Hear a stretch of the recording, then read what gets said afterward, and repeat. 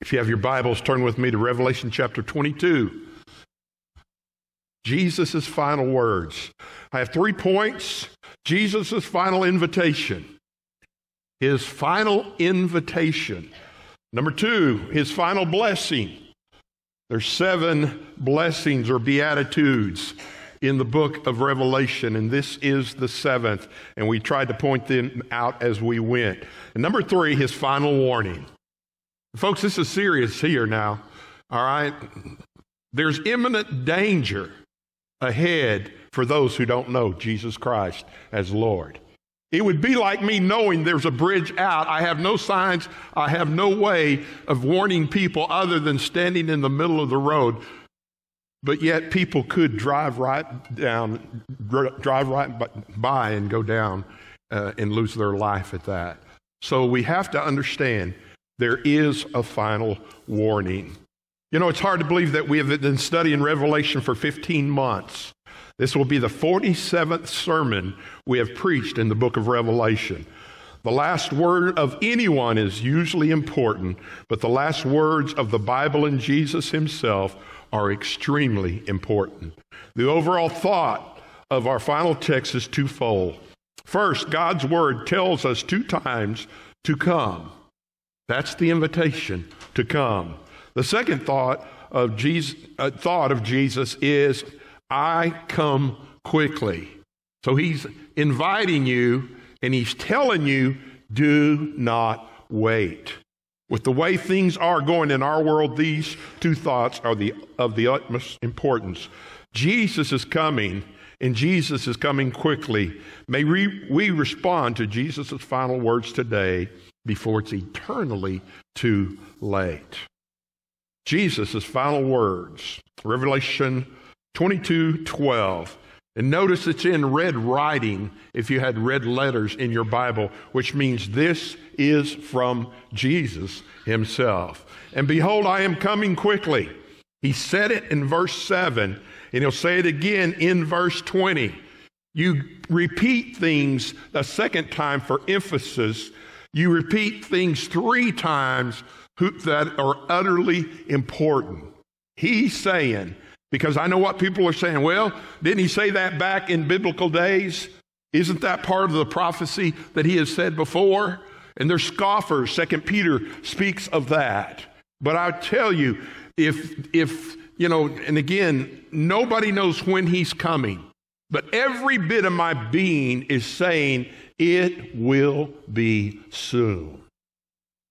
And we have to understand Jesus is coming quickly. And it says, And my reward is with me to give everyone according to his work. So he starts out with the positive thing. All of us, if you are saved, all right, you will uh, receive a crown, and that is the crown of life. Everyone will have that who is saved. And then there's other crowns uh, that is listed. There's five crowns altogether listed in the Word of God. But the Bible also tells us if we even give a cold cup of water in His name, there is a reward. So we are not living for rewards. We are not living to find out who has the most. We are not living to say, hey, look what, look at my pile. Because as Lauren's saying, it's a biblical song, folks. All the awards we get, we are going to lay them at the feet of Jesus. It is our gift to Him. And folks, it's so important that we understand this. Hold your finger there and go with me to 1 Corinthians 3. 1 Corinthians, Paul writes in 1 Corinthians 3 what he has taught, Jesus is talking about here. Look in verse 5. Who then is Paul and who is Apollos?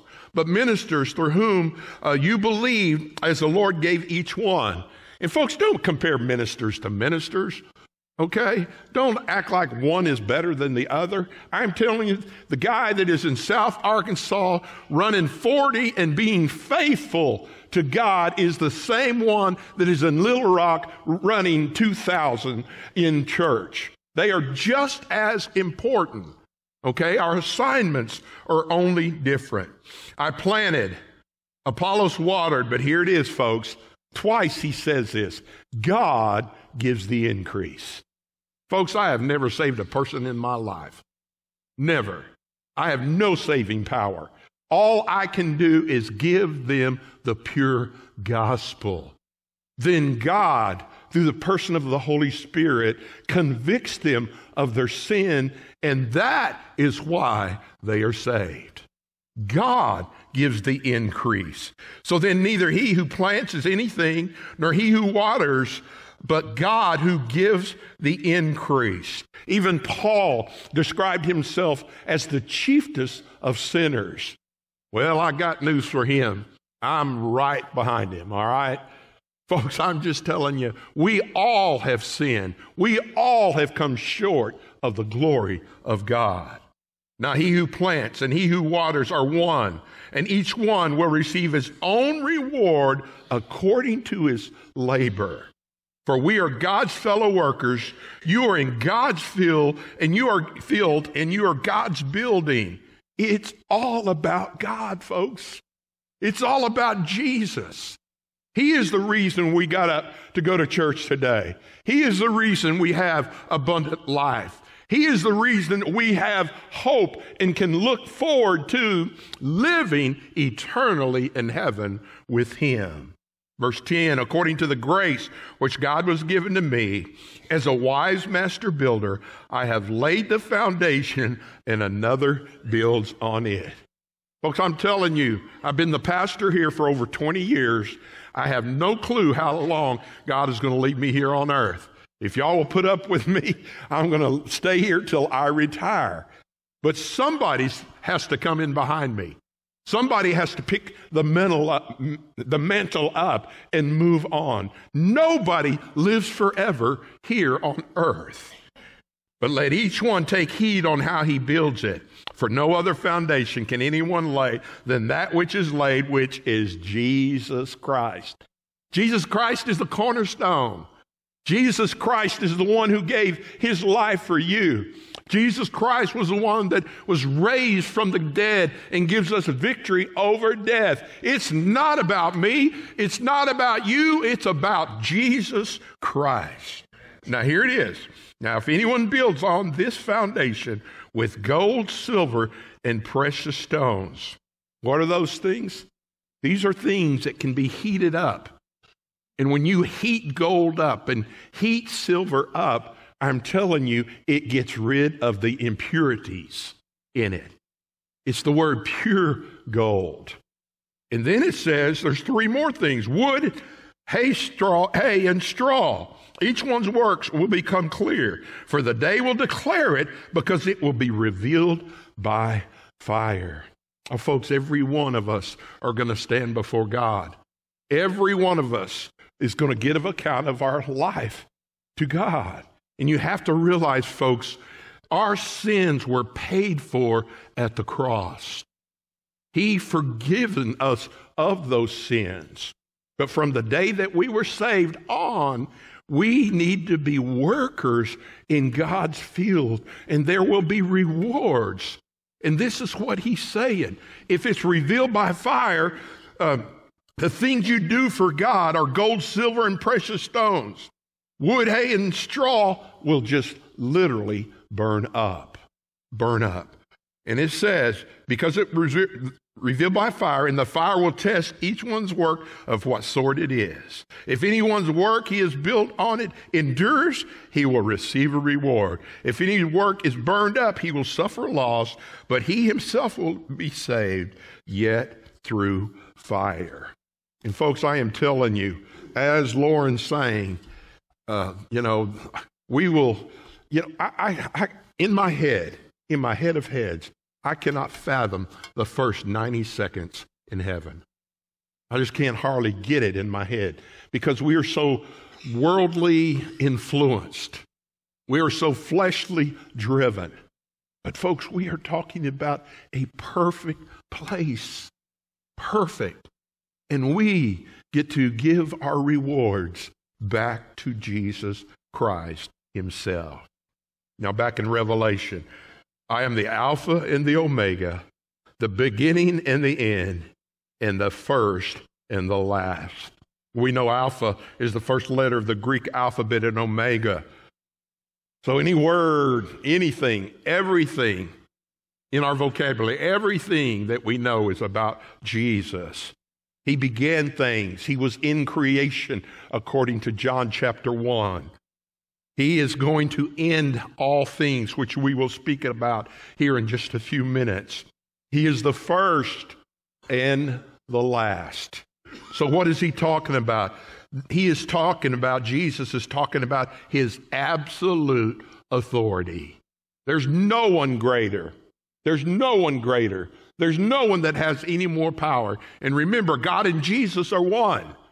And even when he was here, he says, I only do what God allows me to do or tells me to do. And really, this is, you know, six words of this is who I am. And you, let me tell you, and I know you know this, he is the only begotten Son of God. Folks, that is so, so important. Now look down in verse 17. It ties in with these two verses. And the Spirit and the bride says, Come. This is the invitation. He's went all the way through the book of Revelation. Even now, you can walk all the way through the Word of God. And, folks, the ending is important. When you get to the last chapter of a book, it sums up and there's sometimes you read a book and it just almost shocks you. you. You just think, boy, I didn't see that coming.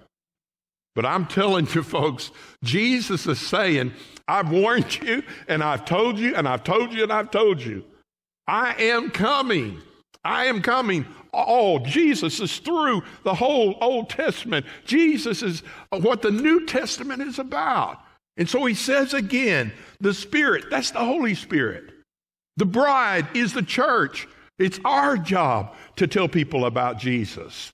It's our job to share the gospel with people around us. And Jesus tells us, Come. Let him who hears say, Come. Let him who thirsts say, Come.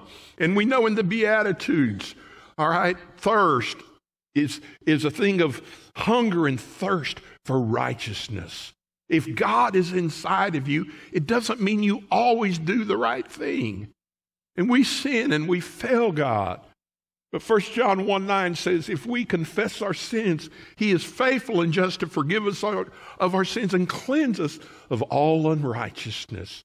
But we need to hunger and thirst for God. Whoever decides, let him take uh, the water of life freely.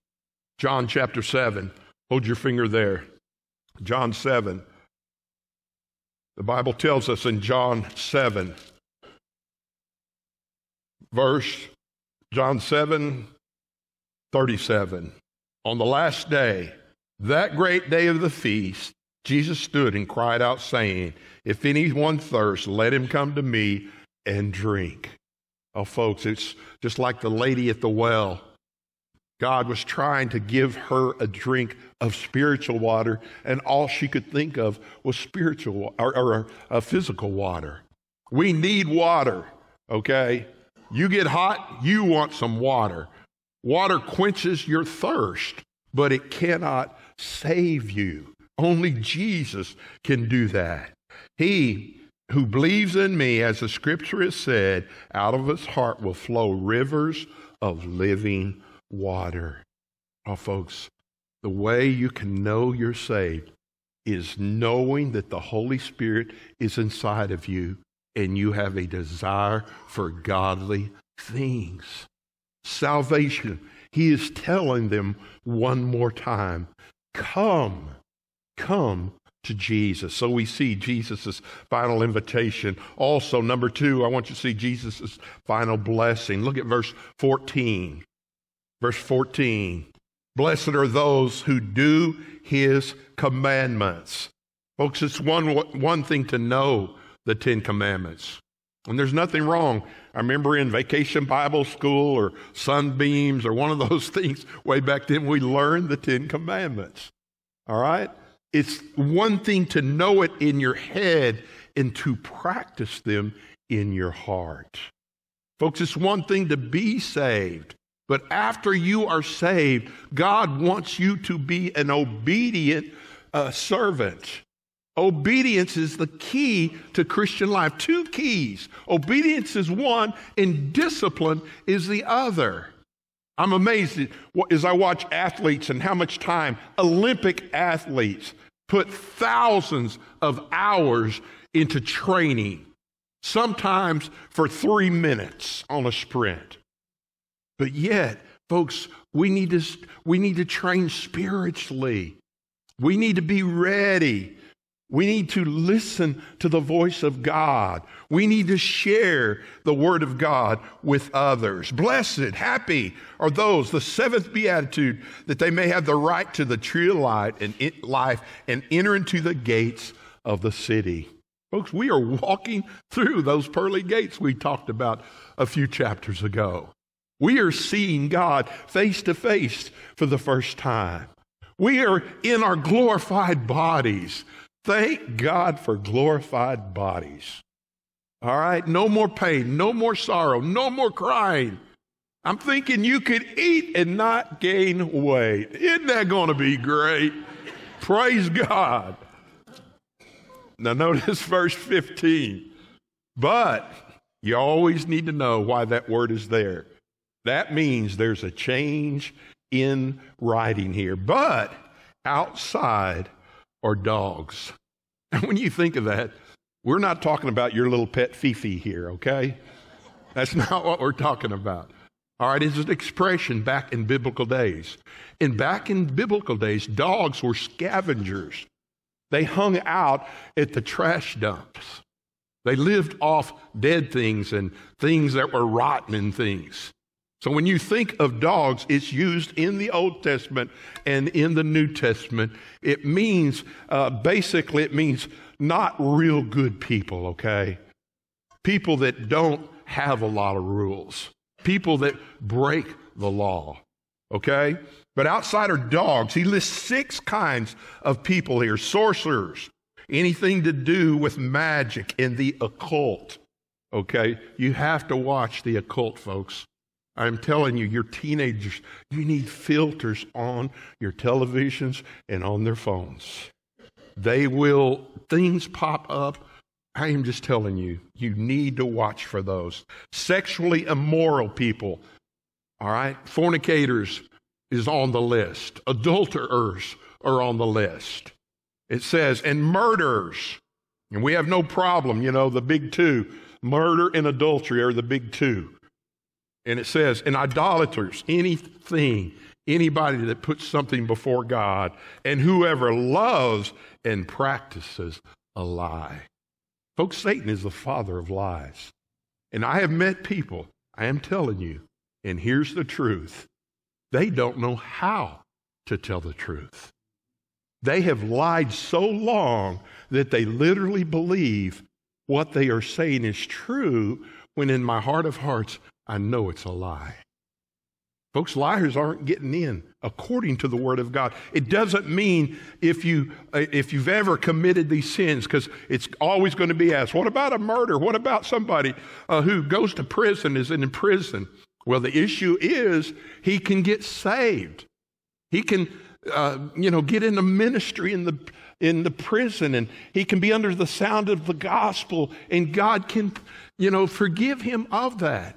I told you last week there's only one sin that will not be forgiven of, and that's blasphemy of, of, the Holy Spirit, rejecting God, saying no to Jesus. You will not be forgiven.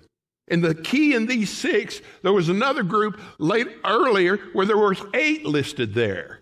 And what it's saying is if this is your lifestyle, if this is who you are, you're not getting into heaven. He will be outside the gates. And that's what it is saying there. Uh, John chapter 6. Go to John 6 with me if you would. John 6, verse 35. And Jesus said to them, I am the bread of life. He who comes to me shall never hunger, and he who believes in me shall never thirst. What do you need today? What do you need today? I'm telling you, if you're here without Christ today, you need a Savior. You need to invite Jesus Christ to come into your life. And even Christians, I know you've already done this, but you have needs. Some people need to remember that, you know, they're, they're not as close to Christ as they used to be. They're not sharing the gospel with others around them. Whatever you need, Jesus has it. Verse 36, but I said to you that, that you have seen me, and yet you do not believe. All that my Father gives me will come to me, and the ones who come to me I will no means cast out. Your name needs to be written in the Lamb's book of life. For I have come down from heaven uh, not to do my own will, but the will of him who sent me. This is the will of the Father who sent me, that of all he has given to me, I should lose nothing, but should raise it up in the last day. Folks, God knows who is saved.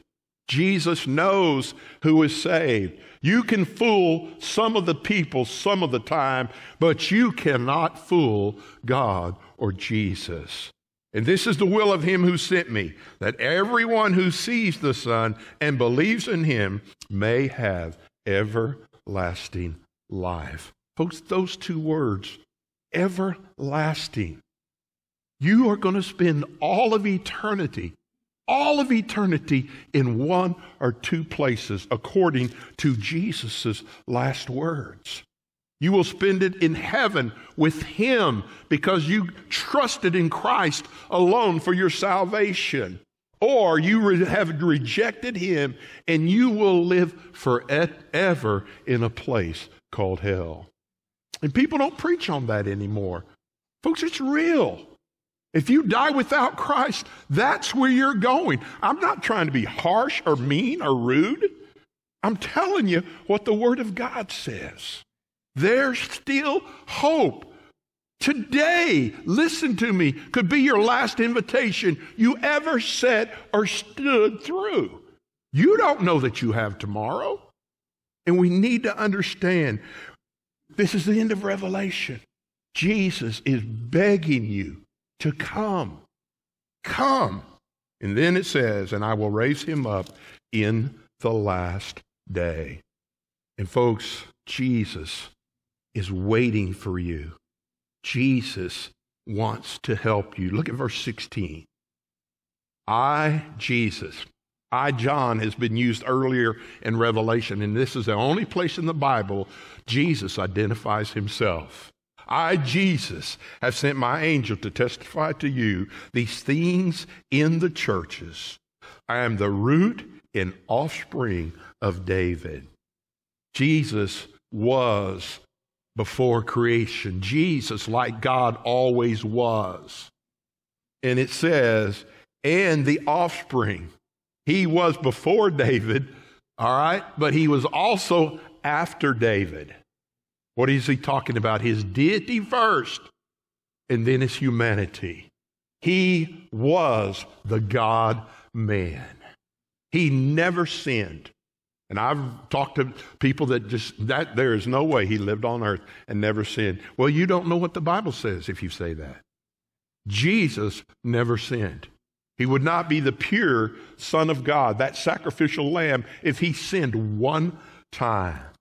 And it says, the root of David, the offspring of David, and the bright and morning star. What is the bright and morning star? It's that last star you see right before daylight. I got news for you, folks. We're living in a dark world. It's dark. Okay, it's evil. But the star, Jesus, is coming. And he is coming soon. He is fixing to light this world up. And, folks, we need to be ready. We need to be ready. Now, the last point Jesus' final warning. Look at verse 18. For I testify to everyone who hears the words of the prophecy of this book.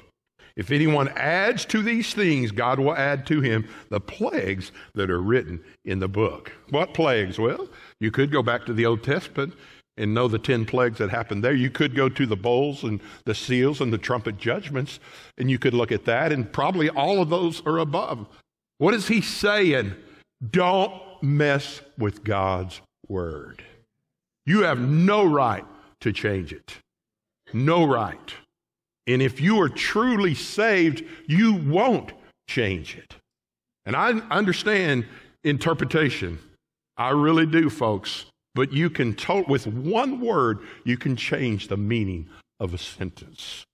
And we need to, uh, we need to love the Word of God. We need to believe the Word of God. We need to say this word is yes uh, and amen. Folks, everything that we are, every doctrine that we believe, everything that happens in our life can be found in God's holy word.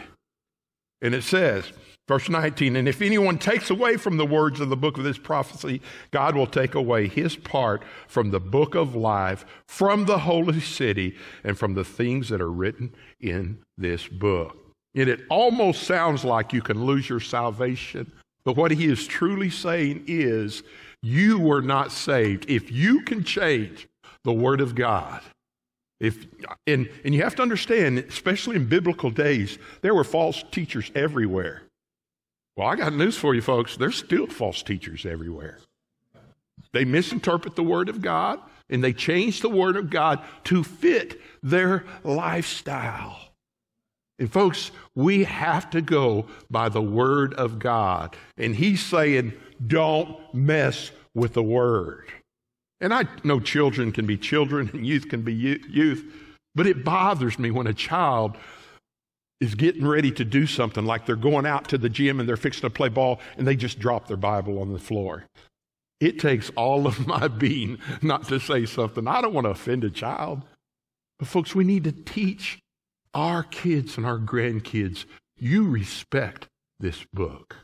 You follow this book. You live in this book. You study this book. It's the holy word of God. And then verse 20, and he who testifies to these things, surely I am coming. Jesus' last words, surely I am coming, the third time. Amen. What does amen mean? So be it. So be it. Even so, come, Lord Jesus. Man, if he came today, it wouldn't make me mad. I'd like to eat lunch first, but it's not necessary. All right, we could just go now. Wouldn't it be cool if during the invitation we hear the trumpet and boom, we're out of here? We're out of here. Even so, come, Lord Jesus. The grace of our Lord Jesus Christ be with you all. Amen. You know what he started the book with? Grace. Man sinned. Man rejected God, but yet God gave him grace. Jesus' own words, Jesus is saying, the grace is still here for you. Our Lord Jesus Christ be with you all. Amen. He said it twice. And if I could sum up in three words this last part watch, wait, and witness. We need to be watching for his coming, folks. We need to wait on the Lord, and we need to witness. First Thessalonians 4. I read this, the first sermon that I preached in Revelation. I think we need to read it. The last words that we read. First Thessalonians 4. I know I'll get there sometime. Oh, there we go. First Thessalonians 4. But I do not want you to be ignorant, brethren, concerning those that have fallen asleep, those that have died in front of us, lest you sorrow as others who have no hope. Folks, a Christian funeral ought to be a praise service. It ought to be a homegoing service. It ought to be happy and clappy in Jesus. For if we believe that Jesus died, folks, we believe. We believe and rose again, even so God will uh, bring them with him, those who even uh, who sleep in Jesus. Those who have died, folks, they're coming back with Jesus. With Jesus. For this we say to you by the word of the Lord, that we who are alive and remain unto the coming of the Lord will by no means precede those who are asleep. For the Lord himself, we know who the Lord is, Jesus Christ, will descend from heaven with a shout. It's going to scare some Baptists, scare them to death. That shout with the voice of the archangel and the trumpet of God. The trumpet's going to scare them too. And the dead in Christ will rise first. Then we who are alive and remain shall be caught up together with them in the clouds to meet the Lord in the air. Folks, we're out of here. We're gone. Praise God. And thus we shall always be with the Lord. Therefore, comfort one another with these words. The invitation is simple today. Come. Come all through the Bible. You think about it. The word come is used all through the Bible. Jesus is waiting for you. If you are lost, Jesus are waiting, is waiting for you. If you are saved and need to rededicate your life, Jesus is waiting for you. If you need to uh, follow the Lord in baptism, Jesus says, Come. If you want to move your membership and you've been saved and scripturally baptized, Jesus is saying, Come. And I pray that we obey. We will listen today and obey the Word of God. Father, thank you. Thank you, thank you for the book of Revelation. God, I thank you so much for what it means. And God, the other word is when I hear the word come, I think of His words I come quickly. God, I pray if there's one person here that doesn't know you, one person, that they will walk down this aisle and give their heart and their life to Jesus. God, I pray if there's Christians that have just kind of been down and really not having maybe the right attitude or just having, you know, just just not totally being into things in the church and in the Word of God. I pray that they would come. God, this is your church. This is your time. And God, I thank you for one final word, and I thank you for giving us your last word. And the last word is come. God, I pray that we would totally focus on this. In Jesus' name we pray. Amen and amen. Would you stand to your feet? If God has spoken to you in any way, you come.